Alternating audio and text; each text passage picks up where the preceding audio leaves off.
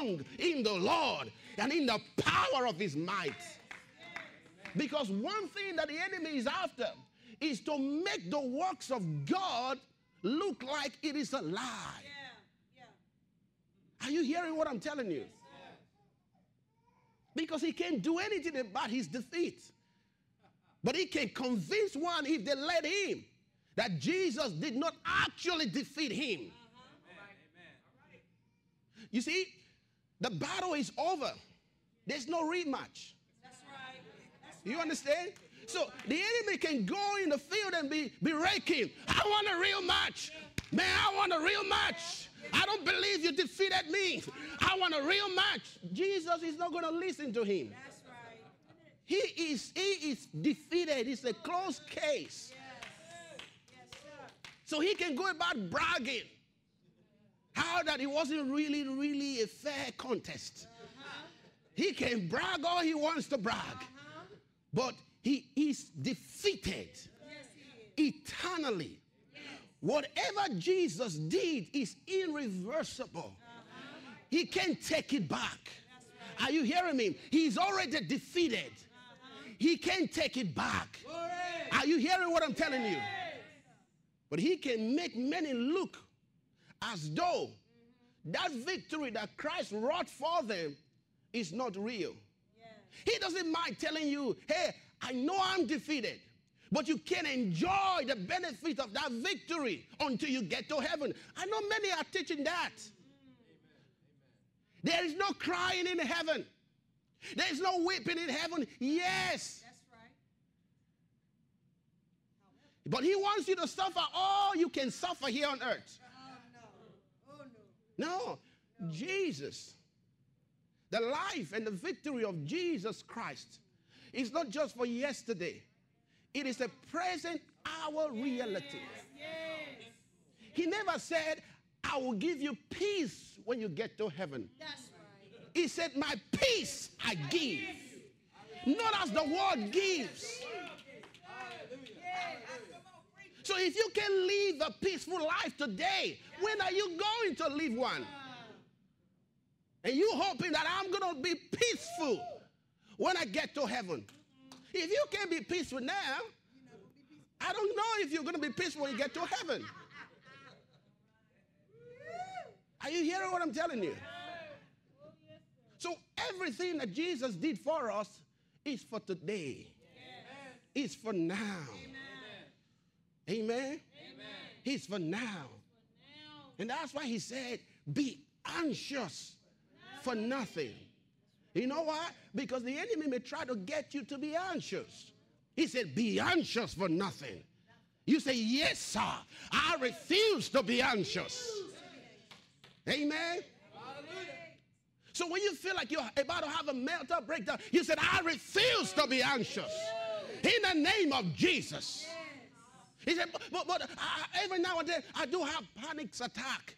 He said, I refuse in the name of Jesus. Jesus died so I don't have to live another day under the influence of a panic attack. I refuse to have one in the name of Jesus. Amen. Praise God. Hallelujah. So I say he wants us to re- reflect the realities of the finished work of Jesus Christ. That's why we're here. See, your life is a message. You understand that? You are a message. You may not know that, but you are a message from God. And that message is simple Jesus Christ is the same yesterday, today, and forever. If Jesus was a miracle worker yesterday, he wants your life to reflect that he is a miracle worker today. Amen. And- And that's why I'm, I'm, I'm a little bit disturbed uh, when we have, as a church, we've hold on to uh, this set of belief as, uh, as a major pillar of truth in, in the gospel, which is God's going to do it. God's going to do it. And that's for baby, baby class. You understand? When you grow up in the things of God, you realize that God's not going to do it because He already did Already did what you are thinking that He's going to do.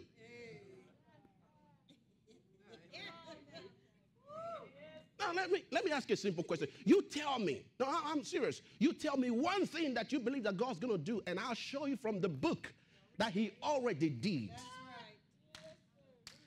As long as you are hoping and, and you, you, you sat down and, and you're like, oh, I'm waiting for God to do something. I'm waiting for God to do something. You never, you never enjoy what He did already.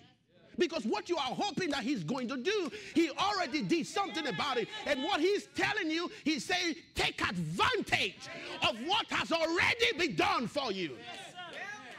Don't sit down there, get yourself up, and move on because God has already done something for you.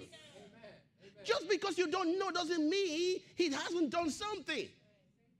What you need is revelation. Are you hearing me? I said, what you need is revelation. When you know, you enjoy life. You know, you enjoy life. You know, you enjoy life. Praise God. Hallelujah. Say, I'm blessed. I'm blessed. Say, I am blessed. I am blessed. Say, I live the blessed life I live the blessed life every day. every day. Amen. Amen. He said, Be strong in the Lord. Take advantage of strength. Come on. Take advantage of strength. Take advantage of it. Take advantage of what's been done. Take, take, collect it. Amen. Collect it. It's for you. Collect it. Praise God. Hallelujah. But then he says, he said, put on the whole armor of God that you may be able to stand against the wiles of what? Of the devil. Then he says, oh boy, I like this now. Whew.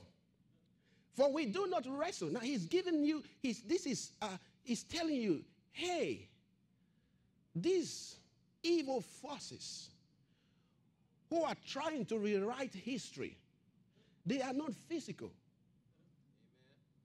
They are spiritual beings.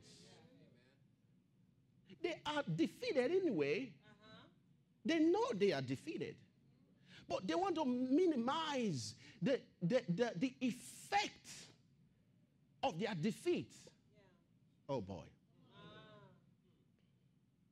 Oh, let me rephrase that. They, they, they want to minimize the effect of their defeat, which is to you your victory in your life. Ah. That's what they want to do.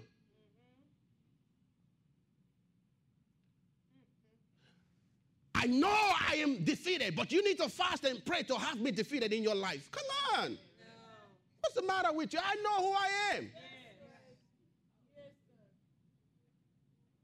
If you fast, you, you, you defeat the devil. Oh, I'm going to get the devil defeated. And uh, uh, I remember a fellow one time, he said, I, I, I, I, I was in a wrestling match with the devil last night. I said, Who sent you? Amen. He said, Man, he was, the, you know, I knocked the devil and the devil knocks me. I, I knocked the devil two times and the devil knocks me.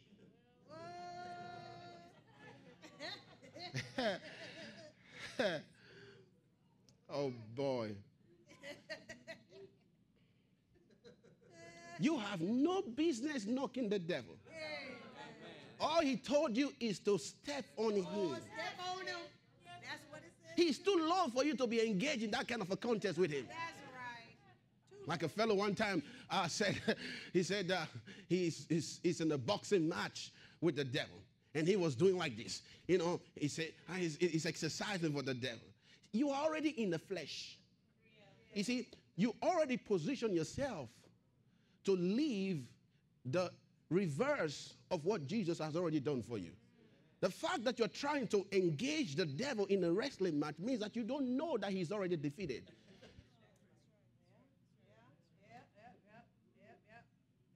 And what is it that the Bible says you should do to the devil? Say, cast him out. Cast him out. Say, out. And he will be out. He didn't say, engage in a wrestling match. No. I said, who, who then is going to be the referee? How will you know that you've won? if you don't know already that you already won. Right. Praise God. Amen. I said amen. So